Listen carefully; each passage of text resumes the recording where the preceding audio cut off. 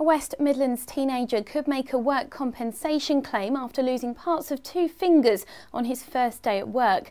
The unnamed 19 year old was three hours into his first shift at JKL Industrial Services on the outskirts of Walsall when his hand became trapped in a power press, seriously injuring it.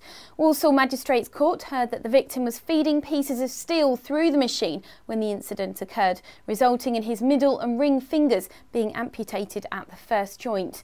JKL Industrial Services pleaded guilty to breaching health and safety rules and were fined £5,000 as well as needing to pay more than £2,500 in costs. They may also need to pay out for a work compensation claim should the victim choose to make one.